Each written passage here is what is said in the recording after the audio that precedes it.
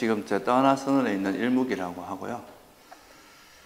그 오늘부터 그 우리가 불교의 핵심이라고 할 수 있는 사성제 팔정도에 대해서 좀 공부를 하고요. 또 그 사성제 팔정도라는 것을 좀 이해하고 난 다음에는 그걸 기반으로 이제 이 사성제를 기반으로 해서 우리가 어떻게 수행하느냐 그 수행의 방법론까지 이렇게 이제 좀 살펴보려고 하고 있습니다. 그래서 제가 이게 이제 최근에 어, 이해하고 내려놓기라고 이 책을 이제 재간행을 했는데요. 예전에 제가 그 한 10년 전에 이 책을 냈었는데 그때는 이제 수행 방법에 대한 이야기는 좀 빠져 있었고 이제 팔정도 자체에 대한 팔정도에 대한 이제 이야기만 주로 있어가지고 요번에 팔정도를 기반으로 해서 우리가 어떻게 수행하는가 그 구체적인 이제 실천 방법에 대해서 같이 어, 정리를 해서 이 책을 내게 되었는데요. 기본적으로 이제 이 책은 두 가지로 구성, 두 파트로 구성이 되어 있는데요. 제 1부, 첫 번째는 이제 팔정도의 사성제 팔정도라고 하는 거에 기본적인 좀 어, 이해가 좀 필요하거든요.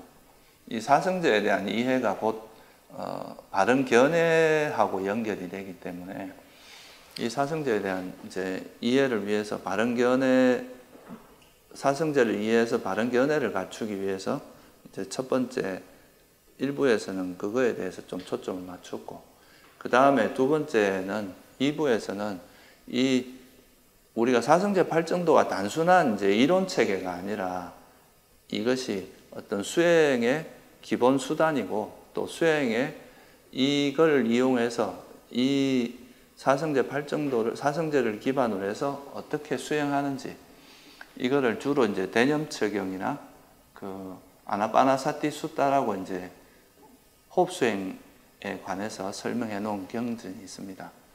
그 두 가지를 기반으로 해서 이제 구체적으로 설명을 어, 드리려고 하고 있습니다. 그래서 2부는 이제 이런 구체적인 수행 방법에 대한 이야기고 1부는 팔정도라고 하는 그 부처님의 핵심 가르침을 좀 이론적으로 어떻게 좀 이게 수행에 어떤 의미가 있는지 이런 거를 좀 알아보는 시간으로 이제 이해하시면 될 것 같습니다.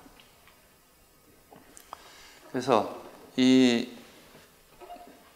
이 과정을 통해서 여러분들이 이제 사성제 팔정도라는 것에 대한 이제 처음에는 우리가 뭐 배워서 알 수밖에 없기 때문에 이 사성제 팔정도가 뭐라는 것에 대한 이해부터 시작해서 이거 이 가르침을 이용해서 우리가 수행을 어떻게 해 나갈 것인가 하는 것 그 두 가지를 좀 이해하는 계기가 되면 좋을 것 같습니다. 그러면 먼저 우리가 이제 왜 그러면 우리가 이제 이런 사성제 팔정도라는 거에 좀 주목을 해야 되는가 하는 것에 대해서 먼저 잠깐 설명을 드리고요. 그러니까 여러분도 아시다시피 요즘 이제 우리가 처해진 현대는 뭐 예전만 해도 뭐 사실 제가 출가할 때만 해도 그 우리나라에서 가리키고 있는 이 불교 외에는 사실 다른 불교를 접할 수 있는 기회가 그래 많지 않았습니다. 그런데 지금은 어떻게 보면 뭐 이제 제일 큰 게 교통의 발달과 특히 인터넷이라는 게 생기면서 전 세계에서 이제 이렇게 예전 같으면 우리가 이제 그 속해 있는 그 집단 고, 거기서 하는 법문밖에 들을 수가 없었지만 지금은 전 세계에서 뭐 수많은 스승들이 하는 법문을 또 다 들을 수도 있고 또 어, 가르침도 뭐 우리나라에서 하는 불교뿐만 아니라 남방불교, 티벳불교, 뭐 온갖 불교들을 다 이렇게 접할 수 있는 그런 시기가 된 거죠. 그래서 이런 다양한 불교가 공존하는 시대가 됐기 때문에 이런 시대 속에서 사실 어떤 게 그러면 이게 근데 이 많은 여러 가지 가르침의 형태가 다 똑같은 이야기를 하면은 사실 혼란스러울 게 없잖아요. 그죠?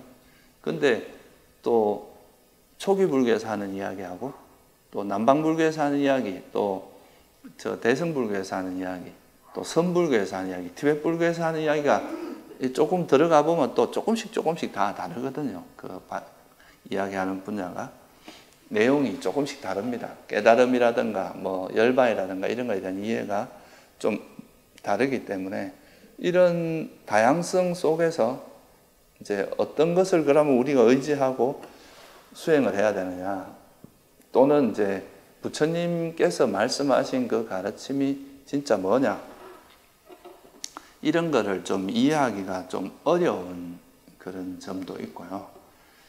그리고 또 요즘은 또 그다 더 못해가지고 이제 불교가 이제 저 외전으로 예를 들면 뭐 심리학이나 이런 데로 이제 들어가면서 거기서 불교를 재가공해서 또 이게 오히려 불교에 영향을 주는 또 이런 상황도 벌어지고 있습니다. 그뭐 여러분도 잘 아시다시피 뭐 MBSR이나 이렇게 이제 뭐 다양한 심리학이나 이런 데서 만든 프로그램이 오히려 불교에 들어와서 그게 불교에 영향을 미치는 그런 상황도 벌어지고 있고 그래서 사실 이런 시기에서 이제 부처님의 가르침을 어, 정확히 이해하는 것이 참 쉽지 않은 그런 시기예요.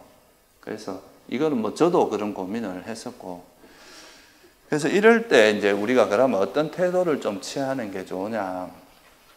뭐 지금 이제 현재 지금 진행되고 있는 불교를 다 무시하고 원래 걸로만 해야 되느냐. 그런 거는 이제 그렇게 바라보진 않는데요. 근데 이제 이 상유다니까라는 경전에 보면 이런 쇠기경이라는 경이 있는데요. 여기 보면 무슨 이야기가 나오냐면 이제 어떤 타악기가 있어요. 안악가 뭐 이게 뭐 어떤 건지는 잘 모르겠어요. 그 이제 오래 전의 이야기인데 어떤 타악기가 있었나 봐요. 안악가라고 하는 이름을 가진. 근데 이게 이제 금이 가면은 그때 어떻게 하냐면 이 금이 악기에 금이 가면 그 다음에 뭘 덧댈 거 아니에요, 그죠? 쐐기라는 이런 걸 덧대고 또 그 금이 가면 덧대고 덧대고 덧대고 하다 보면 나중에는 그 악기는 없어지고 이 이제 덧댄 쐐기만이 어, 있는 이런 상태가 된다고. 그래서 이러면서 이제 부처님께서 뭐라고 하시면 비구들이 미래의 비구들도 이렇게 될 것이다. 미래의 이제 이런 불교도 그들은 열애가 설했고 가르침이 깊고 뜻도 깊고 출세관이고 이제 이런 무아에 관련된 이런 경들을 외우면 그런 거에 관심이 없어지고 오히려 이제 시인 뭐 어떤 말을 잘하는 어떤 외도 이런 가르침들이 그, 그런 분들이 지었고, 이제 그런 분들이 설한 경전을 외우면 오히려 비구들이 그것을 듣고 귀 기울이고 또 거기에 더 마음을 쓸 것이다. 이런 식으로 말한, 말씀하신 그런 경전 구절이 있습니다.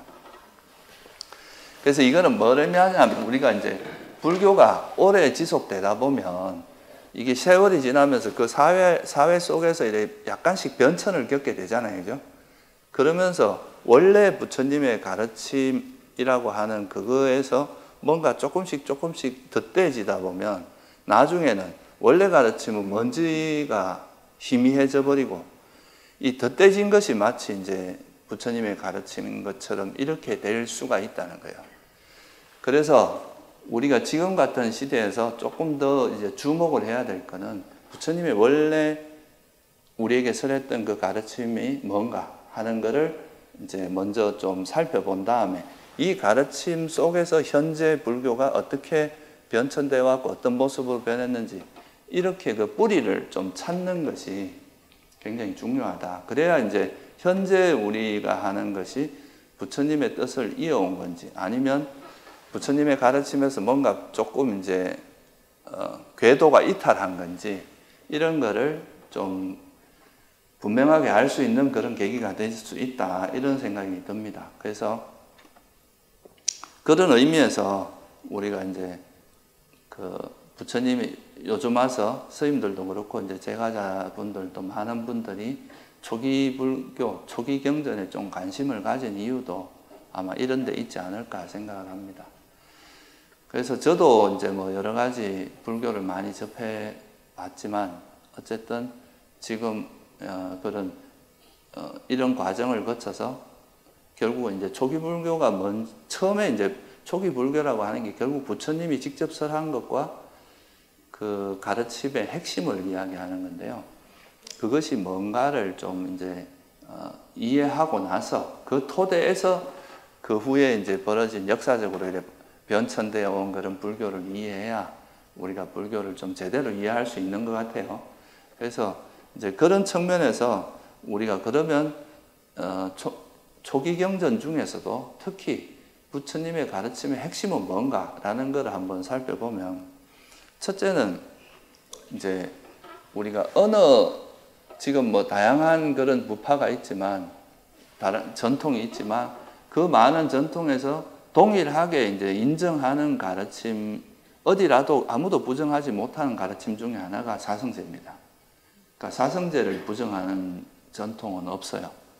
그래서 일단 이제 사성제라는 것이 그런 의미가 있고 또 부처님께서 이제 초기 경전을 보면은 경전 속에서 항상 이제 부처님의 출가 동기도 그렇고 또 깨달음을 깨달았던 그 내용도 사성제였고 또 법을 펼 때 당신께서 당신은 무슨 법을 설하십니까? 라고 물었을 때 항상 하시는 말씀이 나는 괴로움과 괴로움의 소멸에 대해서 설한다. 이렇게 이제 말씀하셨어요. 그래서 이제 그 괴로움과 괴로움의 소멸이라는 게 결국은 이제 어, 사성제를 좀 다르게 표현한 거거든요. 사성제라는 건 결국 괴로움이라는 게 뭐고 괴로움이 왜 일어나고 괴로움의 소멸이 뭐고 괴로움 소멸을 인도하는 그 도닦음이 뭔가 이거에 대한 이야기이기 때문에 이걸 줄여서 이야기하면 괴로움과 괴로움의 소멸에 대한 가르침이다. 이렇게 이제 한마디로 말할 수 있는데요.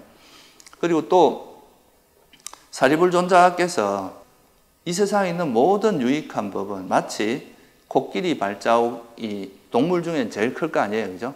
그 코끼리 발자국에 모든 동물의 발자국이 다 내포되듯이 부처님이 설하신 유익한 법은, 유익한 가르침은 다 사성제에 내포된다. 이런 식으로 이제 설하신 가르침이 있어요. 그래서 이런 것들을 이제 우리가 조사해 볼 때, 그, 부처님께서 설하신 이 가르침의 핵심은 그 가장 정수라고 할 수 있는 것은 바로 이제 사성제다. 그래서 이 네 가지 진리, 그 사성제라는 것이 불교의 핵심이라는 것을 우리가 이제 먼저 좀 이해하는 게 필요하고요. 그리고 이제 이 사성제라는 것이 어, 이 속에 사성제라 우리가 불교는 그러면 이제 불교의 핵심은 사성제라고 어, 좀 이야기를 한다면 이 사성제라는 게 도대체 우리에게 뭘 전달해 주고자 하는가 이거를 이제 들여다보면 사실 이 사성제라고 하는 거는 보통 이제 우리가 세속에서 말하는 그런 뭐 사상이라든가 이론 이런 걸로 이해하면은 좀 곤란하고요. 그 사성제라고 할 때 그 이제 이 제라는 건 진리 제자거든요. 그러니까 빨리어로는 사자라고 이야기하는데요. 이 사자라는 것은 진짜 진리라는 뜻입니다. 그래서 다른 가르침에 이런 진리라는 표현을 쓰는 경우가 별로 없는데, 그러니까 이 진리란 말은 무슨 말이냐 하면은 세월이 변한다고 바뀔 수 없는 거라는 거죠. 이거는 누구라도 지혜 있는 사람이 들으면 누구도 부정할 수 없는 그런 그, 거다. 그래서 이게 뭐 사상이나 이론 같은 경우는 또 더 나은 이론이 나오고 이러면 바뀔 수 있지만 이 진리라는 건 그런 게 아니거든요. 그래서 사성제는 이런 이제 그 어떻게 보면 진리의 가, 이런 사상이나 이론이 아니라 진리의 가르침이고 이 사성제가 제시하는 것은 우리가 그 수행을 하는 가장 큰 목적은 괴로움을 이제 괴로움에서 벗어나기 위한 거잖아요. 그죠? 우리가 뭐 만약에 여러분이 지금 항상 행복하고 뭐 괴로움이 전혀 없다면 굳이 이 늦은 밤에 이렇게 와서 이런 가르침을 들으면서 뭔가 길을 모색하거나 이럴 일이 별로 없을 거 아니에요. 그죠? 그러니까 이제 이 괴로움이라는 거에서 우리가 겪고, 어, 태어나서 이 생명을 유지해 나가면서 겪고 있는 수많은 괴로움들을 어떻게 벗어날 것인가 하는 이것이 이제 문제의식을 가지고 이런 당위성을 가지고 이제 그런 거를 고민하고 길을 찾고 이렇게 하는 건데 그래서 이 사성제에서는 그런 우리가 괴로움에서 벗어나기 위해서는 제일 첫 번째로 해야 될 게 뭐겠어요? 뭐가 괴로움인지를 알아야 될 거 아니에요? 괴로움이 뭔지도 모르는데 어떻게 괴로움에서 벗어나겠어요, 그죠? 그러니까 괴로움이라는 것의 정의, 괴로움이 뭔가를 정확히 알아야 되고 또 하나는 그렇다면은 이 괴로움이 과연 소멸될 수 있는가 없는가 이게 되게 중요하겠죠. 만약에 내가 괴로움은 있는데 괴로움을 아무리 해도 벗어날 수 없는 거라면 굳이 우리가 수행을 할 이유가 별로 없잖아요. 그죠? 해봐야 안 되는 거다면. 그러니까 이것도 또 문제가 있는 거예요. 그래서 우리가 수학적으로도 보면 해가 없는 문제는 답이, 답을 찾을 이유가 별로 없는 거예요. 근데 이제 문제가 이게 답이 있는 건지 없는 건지 이것도 되게 중요한 부분이거든요. 여러분들도 이제 괴로움이 있는데 괴로움을 절대로 벗어날 수 없다 이러면은 사실 이게 수행의 의미가 퇴색한단 말이죠. 그래서 괴로움이라는 게 정확히 알면 이 괴로움에서 벗어난 괴로움이 사라진 상태도 있다는 것을 어, 분명히 해야 되고 만약에 그렇다면은 괴로움이 왜 일어나는지도 알아야 되고 괴로움이 왜 일어나는지 알면 그 괴로움이 일어나는 원인을 버릴 수 있는 방법이 있는가 그러니까 이 네 가지가 다 구족된 상태가 결국 뭐예요? 사성제란 말이죠. 그래서 우리가 이제 어, 부처님께서 말씀하신 거는 그런 어떤 당연한 우리가 어떤 문제 의식을 가지고 있을 때 그 문제를 풀어내기 위해서 문제를 해결하기 위해서 꼭 필요한 네 가지 그거를 이제 설했다 이렇게 보시면 될 것 같고요. 그리고 이제 여기서 그래서 첫 번째는 사성제가 어, 드러내고자 하는 것은 첫째는 괴로움과 괴로움의 소멸이라고 하는 두 가지. 그러니까 이건 괴로움의 소멸은 완전한 행복을 이야기하거든요. 이 두 가지의 명확한 정의를 둠으로써 우리가 괴로움인 것은 버리고 이제 괴로움 행복인 것은 추구해야 될 거 아니에요. 그죠? 그 방향성을 명확히 알려주는 게 첫 번째고요. 두 번째는 그 아무리 내가 이제 저쪽으로 가면 이게 괴로움이 소멸된다는 것을 가능하다는 걸 알았다 하더라도 구체적으로 어떻게 해야 되는지를 모르면 사실 이게 무용지물이거든요. 내가 히말라야를 올라갈 수 있다는 걸 안다 해도 그걸 구체적으로 어떻게 해야 거기 갈 수 있는지 그 방법을 알아야 되겠죠. 그죠? 그래서 그 방법을 당신이 이제 수행하시면서 경험한 그걸 토대로 해서 이제 체계적으로 정리해서 설한 게 바로 팔정도입니다. 이건 사실 당신의 그 경험하고 관계가 있어요. 여러분들이 우리가 히말라야 갈 때도 제일 처음에 가는 사람이 제일 어, 어렵잖아요. 그죠? 처음에는 어떤 위험이 도사리고 있는지를 모른단 말이죠.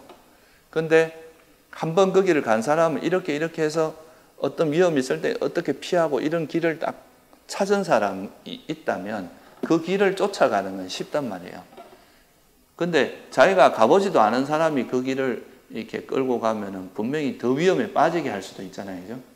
그래서 이제 부처님께서는 당신이 도달했던 괴로움을 소멸하시고 나서 실현한 다음에 그 당신이 했던 그 방법을 좀 체계화해서 설한 거다. 이렇게 보시면 될 것 같겠죠. 그죠? 그래서 이제 한마디로 말하면 불교는 한마디로 말하면 사성제다. 이렇게 요약할 수 있고요. 또 그렇다면 불교의 수행은 뭐냐? 불교 수행은 뭐냐? 수행은 한마디로 팔정도다. 이렇게 이제 요약할 수가 있습니다. 그래서 사실 이게 이제 불교 수행이라고 했을 때는 그 수행 방법이 어떤 형태로 나타나든 간에 그 방법 속에 팔정도가 담겨 있냐 안 담겨 있냐 이걸 보고 팔정도가 녹아 있는 수행법이면 그 무슨 수행을 해도 그건 불교 수행이라고 할 수 있는데 만약에 그 수행 방법에 팔정도가 없다면 그거는 불교 수행이 아니다. 이렇게 볼 수도 있는 거죠. 그죠? 그래서 이제 이, 이거는 어떻게 보면 우리가 수행을 해 나가면 그 괴로움을 소멸하기 위해서 그런 수행의 여정에서 꼭 필수적으로 갖춰야 될 어떤 어, 요소를 설하신 거다. 이렇게 보시면 좋을 것 같습니다. 그래서 이제 이 팔정도라고 하는 것은 이제 한마디로 불교는 사성제고 불교 수행은 팔정도다. 이 두 가지에 대해서 앞으로 좀 자세하게 배우게 될 겁니다. 지금은 제가 전체적인 개요만 좀 설명드릴게요. 그리고 이제 팔정도는 이제 부처님의 수행 과정을 통해서도 알 수 있을 텐데 이제 이게 수행을 할 때 우리가 행복을 추구할 때 뭐 감각적인 즐거움을 많이 누리면서 그걸 행복이라고 생각할 수도 있잖아요. 그리고 또 고, 이거의 극단으로, 이거의 한 극단으로 또 그 감각적인 즐거움을 누리는 건 또 문제가 있으니까 아예 고행을 하는 쪽으로 이게 인도 당시의 풍습이었거든요. 근데 이제 부처님께서는 이 두 가지를 어, 극복하고 중도라는 길을 가게 되는데 이게 이제 이 중도를 터득하시고 그 중도를 따라서 수행해서 이제 깨달음에 이르게 되는데 그거를 정리한 게 팔정도기 때문에 요거는 조금 있다가 제가 어, 부처님의 수행 여정을 살펴보면서 조금 부연 설명을 드리도록 하겠습니다. 그래서 어, 팔정도를 다른 말로 하면 중도라고 하기도 합니다. 그래서 이제 요약을 해보면 이제 불교는 사성제로 한마디로 사성제라고 할 수 있고 또 이제 불교의 수행은 바로 팔정도다. 지금같이 이렇게 수많은 어떤 이론과 또 전통과 이런 게 있는 상태에서는 사실은 이걸 기준점으로 해서 여기서부터 이제 내가 지금 알고 있는 불교가 어떻게 차이가 있는지 이런 거를 좀 비교해 가면서 본다면 좀 더 불교를 명확히 이해할 수 있는 그런 계기가 될 수 있을 겁니다. 그러면 이제 이 사성제 팔정도라는 거를 이제 특히 이, 이 팔정도에 대해서 이제 좀 설명을 드리기 전에 우리가 이 불교에서 이런 사성제라든가 팔정도라는 이런 진리가 드러나게 된 계기가 부처님이잖아요. 그죠? 석가모니 부처님이 깨서 이제 성도를 하셔서 그걸로 인해서 이제 우리가 이런 진리가 드러난 거기 때문에 부처님께서 가신 길을 조금 어, 떤 과정을 거쳐서 이제 부처님께서 깨달음을 얻으셨고 수행을 어떻게 하셨고 이런 수행 여정을 살펴보고 또 부처님께서 깨달았다고 하는 그 깨달음의 내용이 뭔지를 좀 살펴보고 나면 우리가 이제 그 이 불교의 구조를 이해하는데 앞으로 이해하는데 좀 큰 그림을 그리는데 좀 도움이 될 거라고 봅니다. 그래서 먼저 이제 우리가 본론에 들어가기 전에 부처님께서 어떤 수행의 과정을 거쳐서 이제 깨달음에 이르렀고 그때 부처님께서 이렇게 상황에 대처하는 그 과정을 이를 살펴보면 우리가 수행자로서 어떤 자세를 가져야 되고 어떤 지혜를 써야 되는지 이런 거를 또 엿볼 수 있는 아주 좋은 그 계기가 됩니다. 그래서 이걸 전체적으로 다 설명드리기엔 내용이 너무 많고요. 이제 수행상에 되게 중요한 사건들 몇 가지를 중심으로 제가 이제 부처님의 그 수행 여정에 대해서 한번 말씀을 드리도록 하겠습니다. 처음에 이제 부처님께서 태어나셔서 어린 시절을 이제 태자로서 삶을 살게 되죠. 그죠?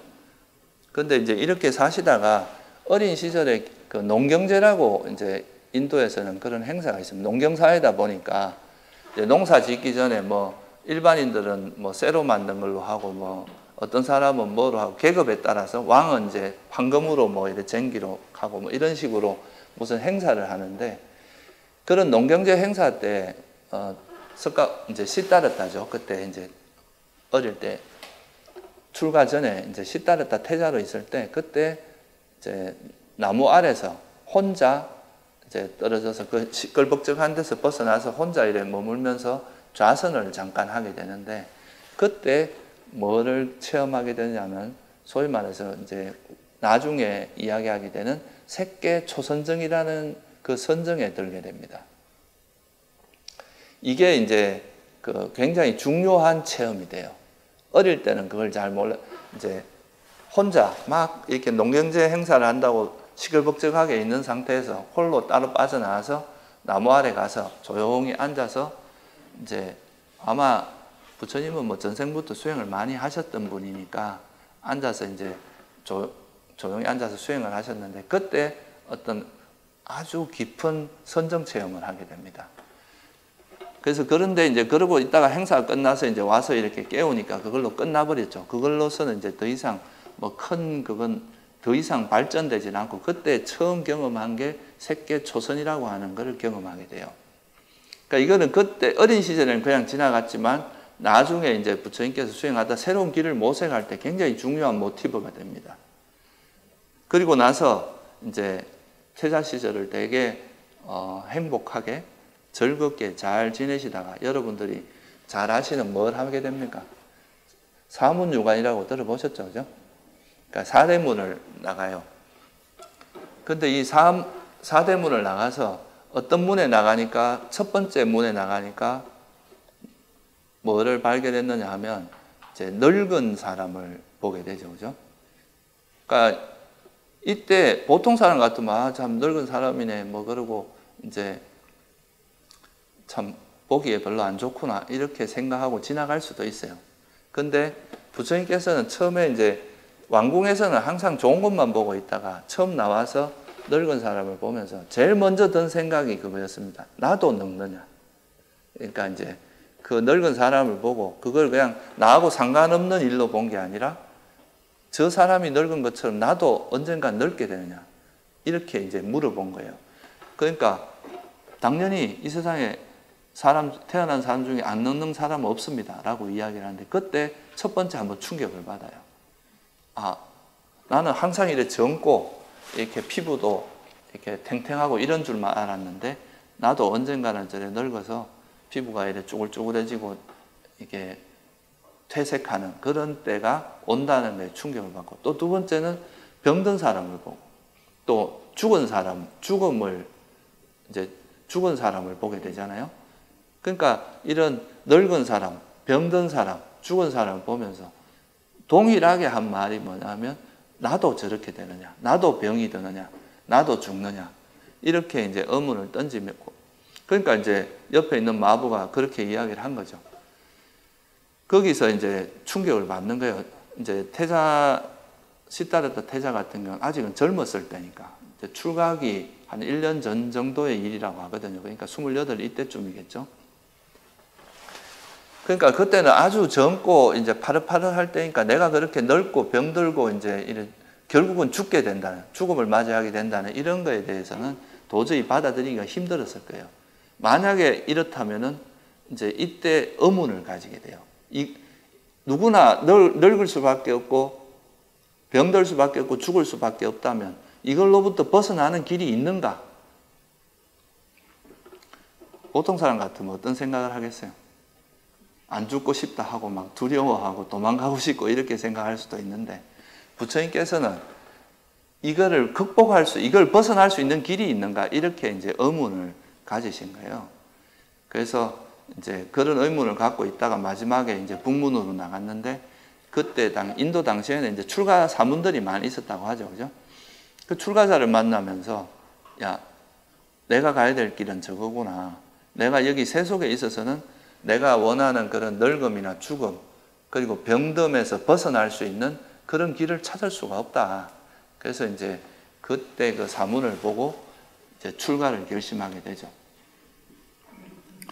그래서 사실 이제 부처님께서 출가하게 된 가장 큰 계기는 이런 태어난 존재가 벗어, 이건 근원적으로 벗어날 수 없는 가장 근원적인 문제인 노병, 늙음과 병든과 죽음이라는 그런 거에서 벗어나는 길을 찾, 찾으려고.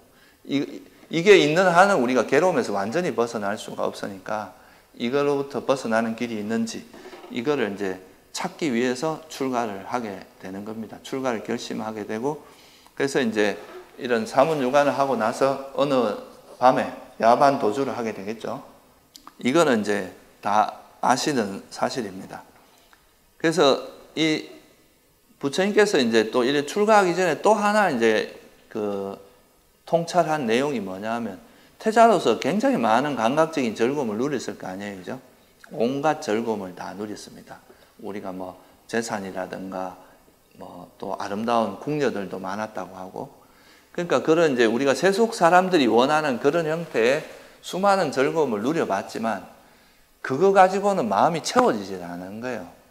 항상 뭔가 그런 즐거움이 끝나고 나면 공허하고 이게 우리가 감각적인 즐거움은 누리고 나서 이제 돌아와 보면 뭔가 마음이 텅 빈 것 같고 공허하고 이런 걸 느끼잖아요. 그죠? 그래서 그걸 통해서 야, 이거는 정말 달콤하긴 한데 이게 끝나고 나면 항상 공허하고 텅 빈 것 같은 이런 이제 경험을 하시면서 이거는 진정한 행복이 아니구나. 감각적 욕망이라고 하는 거는 저열한 행복이고 이걸 이거는 그냥 달콤함 달콤함이 없는 건 아니고 행복이 아닌 건 아니지만 그렇지만 이거는 우리에게 진정한 행복을 가져다 주지 못한다. 이렇게 생각해서 이제 어, 여기에 대한 미련이 떨어지는 것까지도 같이 이제 경험을 하게 된 겁니다. 이거의 결정적인 계기 중에 이제 뭐냐면 주석서나 이런 데 나오는 이야기를 들어보면 이제 궁녀들하고 밤새도록 술을 마시고 놀았는데 이제 정말 아름다운 궁녀들이 술이 취해가 자고 아침에 이래 보니까 침을 막 질질 흘리면서 이렇게 누워 있는 걸 보고 이제 정내미가 떨어졌다는 그런 이야기도 나와요. 그러니까 우리가 그 눈에 보이는 건 되게 아름다운 것, 달콤한 거 이런 것만 보이지만 그 이면을 보면 이로 인해서 만들어지는 수많은 괴로움들 또 그것에 아까 말씀드린 그런 공허함 이런 것들을 느끼면서 이 감각적 욕망으로 인해서 진정한 행복을 실현한다는 것은 불가능하구나. 이거를 이제 느끼게 된 거죠. 그래서 그 감각적 욕망이라는 것을 이제 벗어나 이 태자로서 이런 삶에서 오는 이걸 갖고는 행복을 할 수 없고 또 생로병사, 노병사, 늙음과 죽음과 병듦이라고 하는 이거에 대해서 문제의식을 가지는 이런 것들이 같이 결합해서 결국은 출가를 결심하게 되는 거죠. 그죠? 그렇게 해서 이제 출가를 어, 단행하게 됩니다. 그게 이제 29살 때죠. 그죠? 29살에 출가를 했어요. 그래서 이제 출가를 하고 나서 이제 첫 번째 이제 중요한 전환점은 어, 어릴 때 겪었던 그 이제 선정 체험이었고요. 선정의 체험이었고 두 번째 이제 생도병사 그러니까 사문 유관을 통해서 생도병사의 문제 근원적인 문제 의식을 갖게 됐고 그리고 이제 태자로서 그런 감각적 욕망의 한계를 보면서 충분히 우리가 즐거움을 누려봤지만 그것의 한계를 어, 경험하면서 내가 이런 세 속에 있고 또 그런 감각적 욕망이라는 것이 줄 수 있는 건 한계가 있고 이런 걸 하면서 결국은 이제 생로병사라고 하는 이 근원적인 문제를 해결하기 위해서 어, 출가 방법밖에 없다. 이래서 이제 출가를 하게 되는데 그때 뭐 대신들이 말렸다 그래요. 그러니까 그때 이제 부처님께서 하신 말씀이 뭐냐면 내가 만약에 태어나지 않고 않는 방법을 가르쳐 준다면 난 출가하지 않겠다. 늙지 않는 방법을 가르쳐 준다면 난 출가하지 않겠다. 그러니까 병들지 않는 방법, 죽지 않는 방법을 가르쳐 준다면 나는 출가 안 하고 여기 있을 테니까 나에게 알려주라. 그러니까 아무도 그걸 이제 답해 줄 수 없는 사람이 없으니까 그럼 난 가겠다. 이래서 이제 그러니까 부처님께서 출가하신 목적은 뭐냐면 바로 이런 생로병사라고 하는 아주 근원적인 괴로움을 해결하기 위해서 그걸 벗어나는 길을 찾기 위해서 출가를 한 거죠. 어찌 보면 이제 가장 근원적인 태어남과 그러니까 생명체가 가지고 있는 가장 근원적인 문제인 늙음, 병듦도 있지만 죽음이라고 하는 이 문제를 극복하기 위한 방법을 찾기 위해서 출가한 거다. 이렇게 볼 수 있겠죠. 그죠? 그 문제의식을 잘 이해하는 것도 중요합니다. 그렇게 해서 이제 처음 출가를 했을 때 이제 그때 당시에 가장 유명했던 스승이 두 분이 계셨어요. 알라라 깔라마라는 분하고 우타까라마뿌다라는 분이 있었는데 이 두 분은 이제 어찌 보면 산매가 아주 뛰어난 분이었습니다. 그러니까 우리가 인도 당시에도 원래 산매라고 하는 거는 어, 산매를 닦는 방법이나 산매를 개발하는 그런 전통은 있었습니다. 그래서 그때 당시에도 이제 알라라 깔라마라는 분하고 우따까 라마푸따라는 이 두 분이 이제 가장 뛰어난 분이었는데 어, 경전에 보면 이런 말씀이 나와요. 알라라 깔라마라는 분이 이제 어, 무소유처라고 하는 그런 이제 산매를 어, 얻은 신분이었는데 이분이 선정에 그 산매에 들어갔을 때는 옆에 옛날 술에 옛날 그 길이라는 건 대부분 비포장 도로였을 거 아니에요? 그다가 그 수레도 덜컹덜컹한 그런 수레인데 그런 게 500대가 지나가도 몰랐대요. 그, 그 산매에 들었을 때는. 그 정도로 깊은 몰입을 경험한 분이었다는 거죠. 그래서 아주 뛰어난, 그, 그때 당시에는 아주 뛰어난 분이었고 또 따르는 제자들도 몇백 명이 있는 그런 아주 큰 무리를 이루고 있는 스승이었다는 거죠. 그래서 이제 이분들을 만나가지고 이제 제일 먼저 찾아간 게 이 두 분을 찾아가요. 그래서 두 분을 찾아가서 이제 그분들의 가리킴을 또 듣고 여기서 부처님께서 하시는 것을 좀잘 들어요. 우리나라 사람들은 보통 이래 보면은 제가 미얀마 있을 때도 이래 보면 우리나라 사람들이 이래 와서 이래 수행하는 걸 보면 시킨 대로 잘하네. 자, 기 생각이 좀 많아서 시킨 대로 잘 안 하고 자기 고집대로 하는 경우가 되게 많아요. 근데 이 부처님께서는 어느 어디 스승을 가거나 어느 제자로 이제 딱 들어가면 그 사람이 시키는 대로 다 합니다. 그러니까 자기 고집을 피지 않고 시키는 대로 해서 그, 그 사람, 그분이 가리키는 걸 완전히 다 터득한 다음에 그리고 나서 그때도 뭐가 이게 문제가 있다 생각하면 떠나지만 수행도 하기 전에 미리 분석부터 해가지고 이건 뭐가 문제고 뭐가 문제 이래갖고 아예 시작도 하지 않는 이런 식의 태도는 취하지 않는 거죠. 이런 것도 우리가 부처님한테 배워야 될 되게 중요한 태도입니다. 우리가 배울 때는 그 가리키는 그대로 해야 그 사람, 그분이 가리키고자 하는 의도를 다 이제 배울 수 있잖아요. 그죠? 그렇게 배우고 나서 그때 판단해야 되는 거지. 배우기도 전에 이제, 어, 자기식으로 하고 이러면 아예 배울 수가 없겠죠. 이때도 이제 가서 알라라 깔라마하고 우따 까라마 뿌따라 이두 분이 가리키는 대로 다 해서 그분들이 가리키는 그 궁극의 경지, 최고의 경지까지 다 도달을 합니다. 알라라 깔라바는 분한테 이제 무소유츠라고 하는 그 산매를 배우는데 이걸 다 배우고 나서 묻습니다. 이게 당신이 이제 터득한 궁극적인 거냐? 그러니까 나도 이걸 다 터득했다. 그러고 이제 그 사람한테 인정도 받아요. 다 이제 네가 너도 나와 똑같다. 그러니까 어떤 제안까지 받느냐 하면 당신도 이제 나하고 똑같은 경지에 이랬으니까 나와 같이 똥이란 스승이 돼서 같이 무리를 이끌어 나가자. 이렇게까지 이제 이야기를 할 정도였다는 거죠. 그렇게 해서 보통 사람 같으면 뭐 그렇게 했을 수도 있겠죠. 그죠? 아, 뭐 그러면 나도 스승이 돼가지고 여기서 막 스승으로서 막 되게 어, 역할을 할 수 있고 내가 존경도 받을 수 있으니까 그럽시다. 같이 우리 무리를 이끌어 갑시다. 이렇게 하고 그 명예 그, 그 명예를 쫓아서 거기 안주했을 수도 있어요. 근데 여기서 부처님께서는 아까 말씀드렸듯이 출가의 목적이 뭐라고 했습니까? 이 죽음으로부터 벗어나는 그러니까 생로병사를 완전히 벗어나는 이게 이제 출가의 동기였고 그게 그거를 해결하지 않고서는 내가 절대로 이제 멈추지 않겠다 하는 그런 이제 결심을 하고 나오신 분이잖아요. 근데 이제 당신이 이걸 보니까 이분이 가르치는 걸 보니까 분명히 이게 정말 최고의 행복을 그 우리가 무소유처라는 그런 산매에 들면 정말 어, 세속에서는 경험하는 그런 사, 행복하고는 다른 종류의 행복을 경험합니다.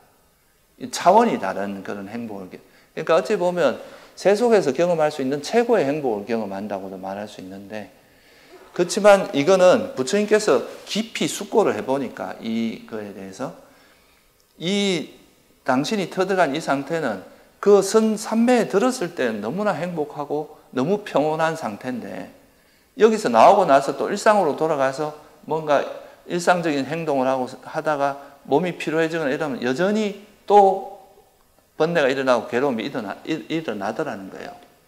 그러니까 이걸 보면서 이, 이때 이제 부처님께서 이 당신이 그 이제 터득한 그 경지를 조사해 보니까 아, 이거는 단지 굉장히 수성하고 정말 행복하고 좋은 경지는 맞는데 이것은 내가 원하는 그런 어떤 완전한 해탈이 아니고 괴로움을 완전히 소멸하는 그런 상태는 아니다. 이거는 잘해봐야 무색계라, 무색계라는 그 무소유처의 존재로 태어나게 할 정도밖에 안 된다. 이것도 어느 정도 또 세월이 지나면 이 무소유처 존재도 수명이 있기 때문에 그 수명이 지나면 다시 또 타락할 수 있는 가능성을 여전히 갖고 있기 때문에 이거는 완전한 행복이 아니다. 이렇게 판단을 하고 더 이상 거기에 머물지 않고 떠납니다. 그래서 이때 하신 말씀이 이 법은 염호로 인도하지 못하고 탐욕의 빗바램으로 인도하지도 못하고 소멸, 최상의 지혜, 바른 깨달음, 열반으로 인도하지 못한다. 이건 단지 무소유처에 태어나게 할 뿐이다. 그래서 나는 그런 법에 만족하지 못하고 그 법을 떠났다. 이렇게 거기를 떠났다. 이렇게 이제 성스러운 구환경이라는 마지막니까의 경전에 나옵니다. 그래서 여기서 이제 이분은 더 이상 여기서 만족하지 못하고 떠났고 마찬가지로 그 우따까 라마뿌따라는 분은 비상비비상처라고 하는 그 산매를 터득한 분인데 거기서도 다 해보니까 이것도 역시 마찬가지로 비상비비상처라고 하는 그런 세상에 그런 존재로 태어나서 굉장히 오랜 세월 행복하게 살게 할 수는 있지만 이게 완전한 행복은 아니다. 내 괴로움을 완전히 소멸할 수 있는 그런 건 아니다. 이거를 판단하고 즉시 떠난 거죠. 그래서 여기서 우리가 대개 이제 좀 어, 부처님께서 이렇게 수행을 대하는 태도에 대해서 우리가 좀 배울 게 되게 많습니다. 아까 말씀드렸듯이 배울 때는 가리키는 대로 정말 이렇게 진심을 다해서 그걸 배우, 배우는 것. 그게 이제 첫 번째 우리가 부처님의 그런 어떤 수행의 자세를 배울 만한 것이고, 둘째는 거기서 그런 이제 경지를 얻었다고 해서 그러면 이제 어찌 보면 우리가 그 명예와 이익이 생긴 거잖아요. 그, 그 무리를 이끌 수 있는 자격도 주어지고 보통 그냥 일반적인 사람 같으면 거기 안주해서 거기서 무리를 이끄는 스승이 돼서 거기서 이제 스승 노릇하고 사는 것도 그렇게 안주했을 수도 있어요. 그렇지만 부처님의 목적은 괴로움의 소멸에 있었기 때문에 이런 이것이 괴로움의 소멸이 아니라고 생각할 때는 그거를 한치의 미련도 없이 버린, 버린다는 거죠. 그러니까 보통 우리가 이제 그 이런 수행하다 보면 뭔가 수행하다 조금 뭔가 알아지는 게 있으면 그걸 갖고 되게 큰 의미를 부여하면서 그것이 마치 대단한 걸 얻은 것처럼 뭐 깨달음을 얻은 것처럼 말하기도 하고 자기 스스로도 쉽게 타협하는 그런 경우도 많거든요. 근데 부처님께서는 보면은 이런 이것이 정말 괴로움의 소멸인가? 구도자의 자세인 거죠. 구도자로서 이 괴로움의 소멸이 완성되지 않았는데 내가 여기 안주한다 그러면 이건 언제든지 다시 퇴보할 수 있잖아요. 그리고 이 이런 과정에서 우리가 수행을 하다 보면 이제 사람들의 존경도 받게 되고 막 내 말에 사람들이 이제 이렇게 영향을 받고 이러다 보면 그런 거에 또 마음이 뺏기기가 쉽거든요. 그런 명예, 환대 이런 거에 마음이 뺏기기가 굉장히 쉽습니다. 근데 이런 거에 전혀 동요하지 않고 오직 그 괴로움의 소멸이라고 하는 그 그것이 여기에 만약에 괴로움의 소멸이라는 것이 없다면 거기에 전혀 일말의 미련도 없이 이렇게 떠나는 것 이런 태도를 우리가 배워야 됩니다.